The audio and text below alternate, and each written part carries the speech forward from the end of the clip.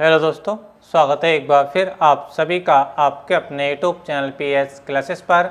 तो दोस्तों, जैसा कि आप लोग जानते हैं कि हम क्लास ट्वेल्थ फिजिक्स के चैप्टर वाइज उन क्वेश्चन का वीडियो बना रहे हैं, जो आपके ट्वेल्थ क्लास बोर्ड एग्ज़ाम के लिए वेरी वेरी मोस्ट इंपॉर्टेंट हैं।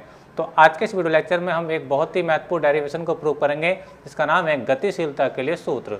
दोस्तों, आपको बताते चलें, इसी लेक्चर में हम गतिशीलता की परिभाषा को भी डिस्कस करेंगे, जो आपसे एक नंबर में ज़्यादातर एग्ज़ाम में पूछी जाती है। तो चलिए शुरू करते हैं। देखिए स्टैंड जैसे कि आप लोग जानते होंगे कि यदि हम यदि हम किसी चालक का रिलेशन किसी एनर्जी सोर्स अर्थात बैटरी से करते हैं यानी कहने का मतलब ये, अगर हम कोई चालक लें, चालक मीनिंग जैसे कोई लोहे की रोड वगैरह है कॉपर का वायर है, चांदी का वायर है एल्यूमिनियम का वायर है, सारे क्या होते हैं बच्चे? चालक होते हैं, क्योंकि इनके अंदर क्या होते हैं? पर्याप्त मात्रा में फ्री इलेक्ट्रॉन होते हैं, अर्थात मुक्त इलेक्ट्रॉन होते हैं, ठीक है? तो अगर हम किसी चालक का संबंध किसी बैटरी से करते हैं बच्चों तो चालक के अंदर करंट बहने लगता है, अर्थात धारा बहने लगती है। धारा बहने के साथ साथ क्या होता है बच्चों? उसके जो फ्री इलेक्ट्रॉन होते हैं, वो भी उसके अंदर गति करने लगते हैं। लेकिन इंपॉर्टेंट बात यह है कि धारा की दिशा और इलेक्ट्रॉनों के बहने की दिशा एक दूसरे के अपोजिट होती है। बात समझ में आ रही है? चलिए स्क्रीन पर समझाते हैं। देख स्टैंड जैसे कि आप स्क्रीन पर देख पा रहे होंगे बच्चों, ये पी की कोई चालक है, यानी कोई लोहे की रोड वगैरह है एल्यूमिनियम का तार, किसी कुछ भी समझ सकते हैं, ये कोई कंडक्टर है। इसका रिलेशन में कैसे किया बच्चों? किसी एनर्जी सोर्स यानी बैटरी से किया है, ठीक है? तो जैसे ही हम इसका रिलेशन बैटरी सोर्स से करेंगे तो इस चालक के अंदर क्या होगा बच्चों? करंट बहने लगेगा। करंट की डायरेक्शन क्या होगी, इसको आप ध्यान से समझें। क्योंकि बच्चों, करंट जो चलता है हमेशा प्लस से माइनस की ओर चलता है, प्लस से माइनस की ओर चलता है।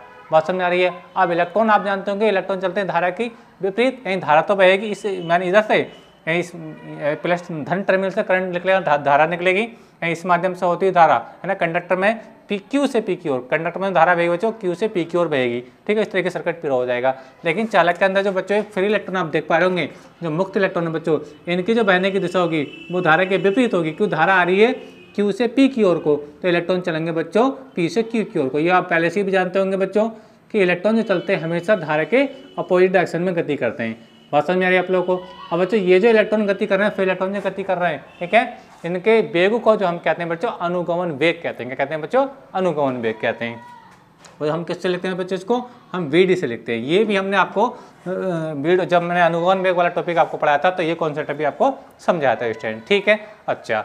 एक बार फिर से जो अभी तक मैंने पढ़ा है उसको मैं रिवीजन करा रहा हूँ। देखिए रिवीजन क्या है? देखिए, ये कोई पी क्यू अपने पास कोई चालक है, ठीक है, जिसका लेसन में किससे किया गया किसी बैटरी से किया है, ठीक है? बैटरी से करेंगे तो हम जानते हैं कि धारा हमेशा प्लस से चलती है इलेक्ट्रॉन माइनस से चलते हैं, ठीक है? तो धारा चलेगी बच्चों इधर से, इधर की ओर को। बात सुनिए आप लोगों को, ठीक है? लेकिन जो चालक के अंदर जो फ्री इलेक्ट्रॉन है, जो मुक्त इलेक्ट्रॉन है, वो चलते हैं धारा के अपोजिट यानी धारा आ रही है क्यू से पी सिरे की ओर को, इस टाइप से, है ना? तो इलेक्ट्रॉन चलेंगे क्यू सिरे से सॉरी पी सिरे से क्यू सिरे की ओर को। बात समझिए आप लोगों को। ठीक है अभी इलेक्ट्रॉन जिस वेग से गति करते हैं कंडक्टर के अंदर, उस वेग को कहते हैं बच्चों हम अनुगमन वेग या ड्रिफ्ट वेलोटी, वेलोसिटी। ठीक है अच्छा। अब देखिए, स्टैंड यहाँ से हमने बैटरी लगाई है। यानी हमने इसको यहाँ से कोई ना कोई एनर्जी दी है, ठीक है? तो इसके अंदर क्या होगा? एक इलेक्ट्रिक फ़ील्ड जनरेट हो जाएगा, यानी वैद्युत क्षेत्र उत्पन्न हो जाएगा। और वैद्युत क्षेत्र की जो दिशा होती है बच्चों, वो धारा की ही दिशा होती है। ये जो आप स्क्रीन पर देख पा रहे होंगे, ई ई का मतलब बच्चों इलेक्ट्रिक फ़ील्ड ठीक है? यानी जब हम इस तार का संबंध बैटरी से करेंगे तो तार में क्या होगा बच्चों? वैद्युत क्षेत्र उत्पन्न हो जाएगा। क्या हो जाएगा? वैद्युत क्षेत्र उत्पन्न हो जाएगा, ठीक है? तो वैद्युत क्षेत्र की दिशा क्या होगी? वो जो होती है बेटा धारा की दिशा होती है।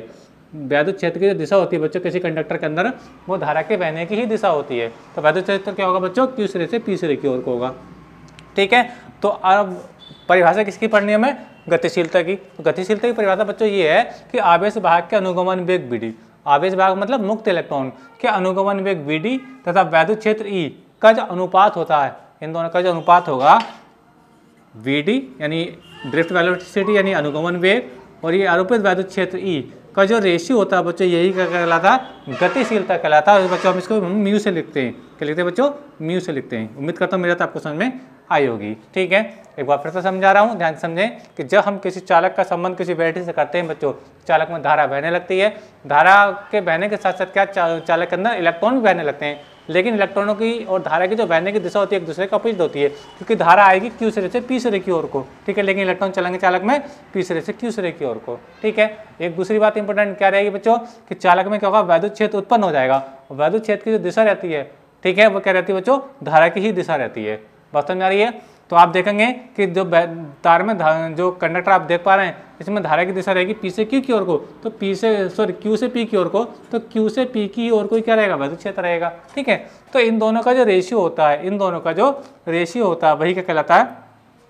मुक्त इलेक्ट्रॉन की या आवेश भाग की कहलाती है बच्चों, गतिशीलता कहलाती है। उम्मीद करता हूँ मेरी बात आपको समझ में अच्छे से आ चुकी होगी, ठीक है? एक बार फिर से रिवाइज कर देता हूँ, किसी आवेश भाग के अनुगमन वेग वी आवेश भाग की जगह आप मुक्त इलेक्ट्रॉन भी ले सकते हैं। किसी मुक्त इलेक्ट्रॉन के अनुगमन वेग वी डी तथा वैद्युत क्षेत्र ई के अनुपात को, ठीक है, मुक्त इलेक्ट्रॉन की गतिशीलता कहते हैं। इसे म्यू से प्रदर्शित करते हैं और म्यू बड़ा होता है बी डी अपॉन ई उम्मीद करता हूँ यहाँ तक मेरी बात अच्छे समझ में आपको परिभाषा आपको समझ में आ गई होगी। ठीक है तो परिभाषा जो मैंने आपको रिपीट कर दी है, एक बार वीडियो को पोस्ट करके चलो भाई इसको आप सुन सकते हैं। अब देखिए, हम बात करेंगे गतिशीलता के लिए सूत्र क्या होता है। चलिए आपको समझाते हैं। ये गतिशीलता की परिभाषा की बात करें तो यही फार्मूला थोड़ा ऊपर लिख रहा हूँ। म्यू इजिकल टू कितना होता है बच्चों? ये होता है वी डी अपॉन ई क्या होता है बच्चों? वी डी अपॉन ई अब देखिए स्टैंड जहाँ वी डी क्या है? अनुगमन वेग है। क्या ये? अनुगमन वेग है। ठीक है, और ये क्या है? ई क्या है विद्युत क्षेत्र है। इन दोनों का रेशियो है। बात समझिए आप लोगों को। अब देखिए बच्चों, मैंने एक आपको डेरिवेशन कराया था, अनुगमन वेग तथा धारा में संबंध। ठीक है? वो क्या था? मैं आपको समझाता हूँ। देखिए देखिए हमने आपको पढ़ाया था, अनुगमन वेग अनुगमन वेग वीडी तथा धारा में संबंध। क्या संबंध पढ़ाया था? धारा मतलब आई में संबंध। क्या था? देखिए समझाते हैं आपको। संबंध बच्चा हमने आपको पढ़ाया था। देखिए, ये हमने पढ़ाया था, देखिए, ये फार्मूले को मैंने ऊपर लिख लिखा है। तो ये पढ़ाया था हमने आई इजिकल टू पढ़ाया था आपको बच्चों n e A v d जहाँ एन क्या, मुक्त इलेक्ट्रॉनों की संख्या ए क्या है, इस चालक का आयतन, यानी इसकी अनुपस्थ काट का क्या ये? सॉरी क्षेत्रफल। इसकी अनुपस्थ काट का क्षेत्रफल, यानी ए ये क्या है? एरिया है। ठीक है। ई क्या है? एक इलेक्ट्रॉन पर आवेश है और वी डी क्या है? इनका अनुगमन भी है तो ये रिलेशन मैंने आपको प्रूफ पहले ही करा दिया है और ये डेरिवेशन बेटा वेरी वेरी मोस्ट इंपोर्टेंट है जो लॉन्ग क्वेश्चन ग्रुप पाँच नंबर में पूछा जाता है। तो जिन लोगों ने ये डेरिवेशन नहीं देखा है, मेरा इससे जस्ट पिछले वीडियो लेक्चर देखेंगे तो यही वीडियो लेक्चर शायद वो वहाँ पे आपको देखने को मिल जाएगा। ठीक है? अच्छा। अब देखिए, यहाँ से हम बी का अगर मान निकालें, क्योंकि हमें रिलेशन दिखाना है गतिशीलता और अनुगमन वेग में और धारा में। बात समझ में आ रही है आपको लोगों को? ठीक है? तो यहाँ से मैं क्या करने वाला हूँ? यहाँ से बीडी का मान निकालूँगा। तो बीडी का मान निकाल के हाँ कहाँ पे पोर्ट कर दूँ? यहाँ पे पोर्ट करूँगा। तो बी का मान बच्चों यहाँ से आएगा। बी डी जिकल टू आएगा देखिए, ये एन इसके आई के पॉन में आएगा। तो आई जिकल टू हो जाएगा बच्चों आपका एन ई ए ध्यान से देखो, मैंने क्या किया? बी की वैल्यू निकाली तो ये एन ई ए इसके आई के पॉन में आएगा तो ये आ गया। अब देखिए, इस, ये वाली वैल्यू कहाँ रख दी बच्चे? यहाँ पर रख दी तो ये आप देख पाएँगे बच्चों ये हो जाएगा म्यू इजिकल टू हो जाएगा स्टैंड आप लोग के पास वी डी की जगह वैल्यू रखिए, क्या आइए वी डी इजिकल टू क्या? देखिए से देखो आई अपॉन क्या है? एन ई ए ये क्या का मान है? वी डी का मान है। और अपॉन में आपका चल रहा है? ई e तो पहले से चल रहा है। ध्यान से देखो, मैंने इस फार्मूले से क्या किया? इस फार्मूले से मैंने बी डी का मान निकाला। तो क्या मिला मुझे? आई अपॉन एन ई ए मिला। बी का मान तो बी का मान डायरेक्टली मैंने कहाँ रखा? यहाँ पर रखा स्टैंड ठीक है? तो ये जगह देखिए यहाँ पे आई अपॉन एन ई ये आ गया, और जो पहले से आपका ई e था वो बच्चों ये आ गया। तो ये टोटल वैल्यू नीचे आ जाएगी तो यहाँ से स्टैंड आपका फार्मूला बनेगा फाइनली बनेगा। म्यू इजिकल टू आपके पास आएगा, देखिए आई आई अब देखिए एन ये नीचे उतर जाएगा तो जाएगा एन ई ए ठीक है? एन ई ए और ये आपका ई e पहले से था ऑलरेडी आपको बच्चों यहाँ देखने को मिल जाएगा, ठीक है? तो ये फार्मूला बच्चों आपसे प्रूफ कराने के लिए एग्ज़ाम में पूछ लिया जाता है स्टैंड ठीक है? तो ये जो रिलेशन है बच्चों, ये रिलेशन है आपका अनुगमन वेग सॉरी ये जो रिलेशन है आपका, आपकी गतिशीलता और धारा में संबंध है, गतिशीलता और धारा में संबंध है, ठीक है? जहाँ अगर यहाँ पे देखना चाहें तो आई अपॉन ए क्या होता है? आई अपॉन जे भी होता है। देखना चाहें, मैं आपको दिखाना चाहूँगा, यदि आप किसको आगे बढ़ाना चाहते हैं तो ये देखिए आई अपॉन ए क्या होता है बच्चों? ये होता है जे यानी धारा घनत्व होता है। क्या होता है बच्चों धारा होता है। तो ये आई अपॉन ए क्या बन जाएगा जे बन जाएगा। तो फार्मूला यहाँ पे क्या बन जाएगा? इस यहाँ से अगर आगे आगे देखना चाहें तो फार्मूला बनेगा। Stand mu is equal to हो जाएगा। देखो आई अपॉन ए क्या बनेगा जे तो ये हो जाएगा बच्चों आपका जे अपॉन में क्या जाएगा? एन ई ई रह जाएगा। क्या रह जाएगा एन ई और ये ई रह जाएगा। तो बच्चों, ये जो रिलेशन है, ये रिलेशन है आपका गतिशीलता और धारा में संबंध है। ये जो रिलेशन है आपका गतिशीलता और धारा में संबंध है।